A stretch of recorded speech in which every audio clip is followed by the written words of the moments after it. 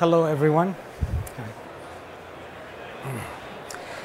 Um, this paper I want to present to you um, is titled How to Effectively Tune the Performance of Your RF Board Design. It basically uses the EM circuit partitioning and co-simulation together to be able to tune or optimize your board design in a very simple and easy way. I want to show it to you. So I'm going to go through an introduction just to show you the traditional way, the way that people used to do it in the past, and the new approach. And I'll go through an example, the best way to show an example. Now, the traditional approach, if you have a board, how many of you did some momentum, EM planar, EM simulation? You, for those of you who did this process in the past, you remember you have to take the SMT components, the transistors, and you have to place ports at every where every uh, SMT component is. And then you have to run EM simulation with the ports. Then you have to create a look-alike component, put it on the schematic, and then put the components back, connect them, and do the simulation. How many people have done this in the past with EM simulation? Yeah.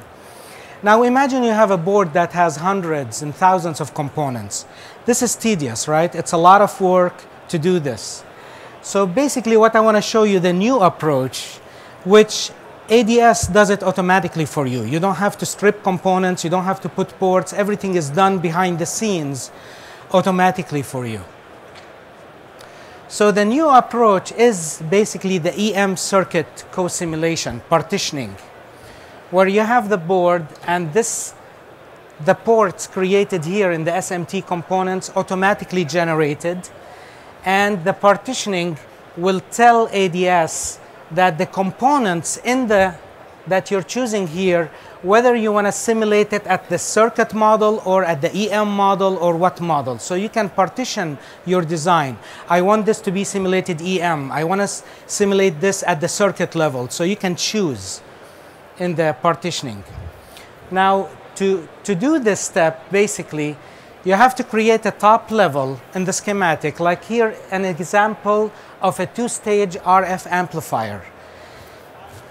On the top level here of the two-stage amplifier, if I push into this, if I push into this level, I will see the two-stage amplifier, whether in the schematic or the layout. But this is the top level where it says the you know, you can choose the view you want to look, the schematic. Or So here's the top level. Now, to do the approach I showed, uh, I mentioned, you know, to do things automatically requires really simple four steps. You create a top level schematic, I showed it to you already. Then from the EM setup, to do the EM setup component here, you select the EM co-simulation. That is the new method, the EM co-simulation method. Okay, and you want to generate the view, the EM co-simulation view. Then you launch Momentum, you do the EM simulation, and after that, from the top level, you can change views and you can look and tune and optimize and do all kinds of things I'll show you. So let, let's go through the, these four steps in an example. Here's my top level, step one. From the layout, I go to the EM setup. Step number two is the EM setup, right? So this is step number two, the EM setup. Notice now I have EM co-simulation. This is the old methodology. It's still there if you want to use it. This is the EM co-simulation bubble.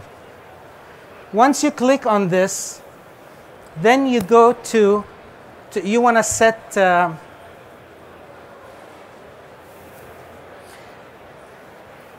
you want to notice here it says partitioning where all the capacitors and the inductors and the transistors are simulated at the circuit level, but the board and the lines are going to be EM simulated. The coupling between the lines are going to be EM simulated, but the components are going to be at the circuit level. And here's the generate view. I click on go, it automatically does everything, generates the views strip out the components, put ports, and does everything behind the scene.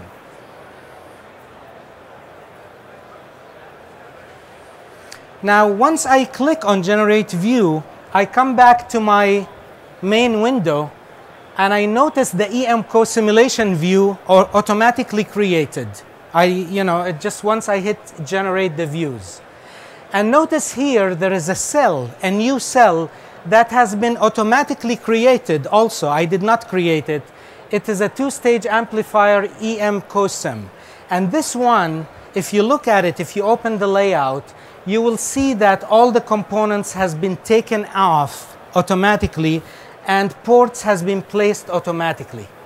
So this is, this is really what saves you a lot of time because I didn't have to take components, I didn't have to do the ports, automatically it is done for me here. So the, the next step is to simulate this. And this is where you open that EM COSIM and you'll see the database and you'll see a, a window that opens, you know, launch momentum basically. So once you launch momentum, it simulates the EM and saves the results in the database. So that's the EM results saved already for the board. Now is the fun part because everything simulated, I have all the data. Now the fun part is to go to step four from the top level you can change views. You can simulate the schematic, you can simulate the layout, you can simulate the EM, which I just did. So by, by putting schematic here, this is the circuit level simulation of my amplifier. Next, I change the view to EM, the EM co-simulation view, and notice the blue is the simulation of the amplifier that shows it shifted to lower frequency because of the coupling and the board and the EM simulation of the board. So this frequency is one and a half gigahertz. It shifted all the way down to one. So I want to bring it back now to one and a half gigahertz. How do I do this? I just, okay, those are the views, schematic view, layout view, and the EM COSIM view. So how do I tune it back? I launch the tuner you know, just the tune fork, the tuner, and these are the components. I click on each component I want to tune, and I start tuning up and down with the SMT components and watch the response if it meets my spec or not. So by doing this, I was able to bring the response back to one and a half gigahertz by just playing with the tuner and the EM is already included with the tuning because I'm tuning the SMT components, but the EM of the board has been already incorporated, like simulated with.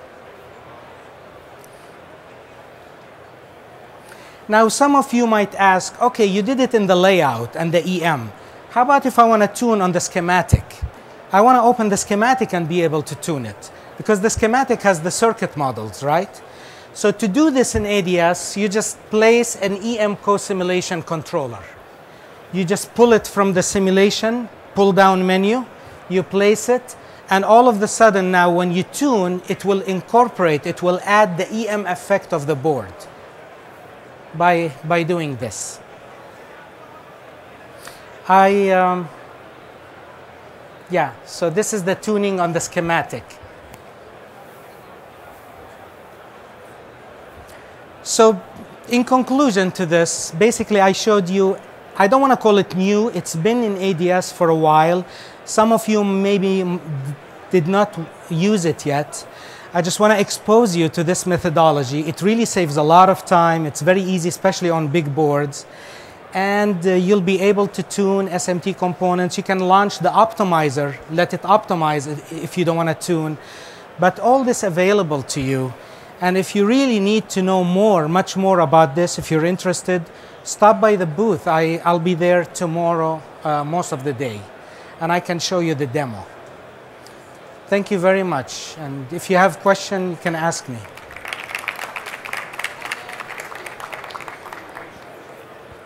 Uh, the question is how long does the simulation take?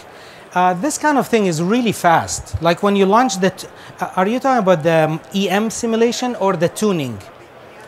Yeah, the EM simulation depends. Depends on uh, your computer, the power, depends on the board, how big it is, how many. This one, yeah, this one is very easy. Very small example I simulated. I, I forgot, I probably take uh, five minutes or something to, to do the EM simulation. But the tuning is dynamic. As you're tuning the SMT components, you can see the response moving up and down. Yeah. Thank you very much. Yeah. Yeah.